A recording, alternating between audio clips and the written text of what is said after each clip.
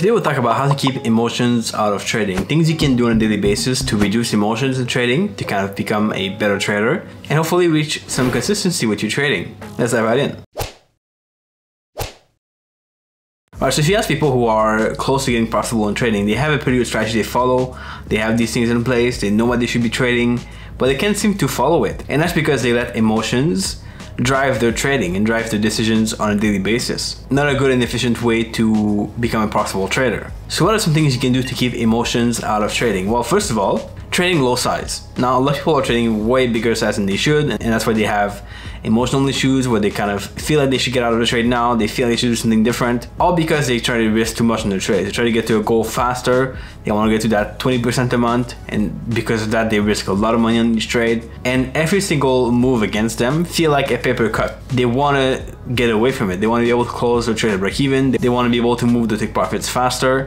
And that just makes them not follow the process at all. Which brings us to the second step, which is having a defined process for everything you do. That means you're not just your trading. Like you, you should have, of course, a strategy, but also a process for how you journal, how you review your trades, a process for how you show up every day. Are you showing up like just you wake up, then you go on your chart, then you kind of start trading? Is that how you do it? Or do you have a better process to do it? Do you kind of go through some habits first, then you look at the chart, then you do a first review, and so on before you before you actually start to trade?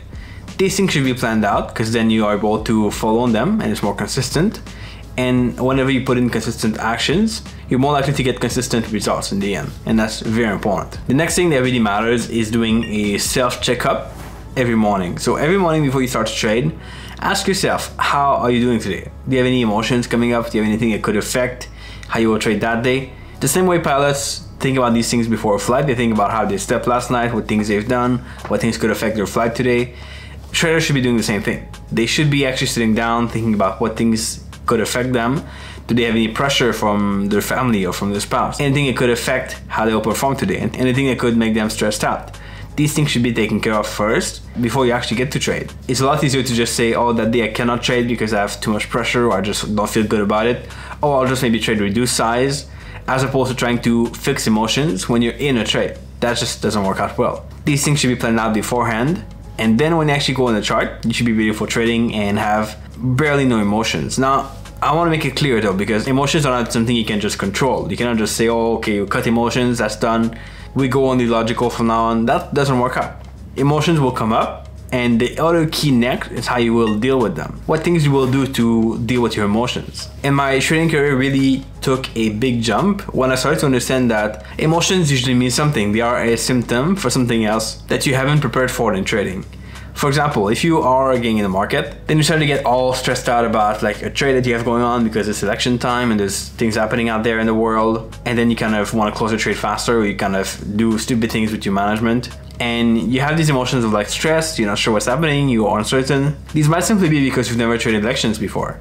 And it's just your body or your mind telling you you gotta work on practicing these kind of elections or these kinds of markets until you get more confident with it or let's say you take a really big trade that's that's having like a double risk than what you are usually taking then you all feel like stressed out you feel like oh you cannot make it or something. That again is your emotion telling you you shouldn't be trading with that size. Or maybe if you want to do it you should actually work out how to do it and you should practice more that size because you're not used to it yet. If you feel like you cannot make it in trading like you feel discouraged after a losing trade that then that could simply be your mind telling you you gotta actually create a process and have something in place that you can just follow and that you that you test beforehand.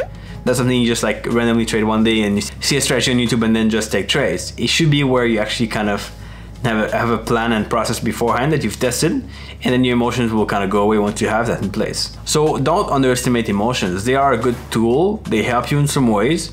Now, if they are hurting your trading, if they don't allow you to trade consistently or they make you not be profitable, you got to figure out exactly why what can you do about it?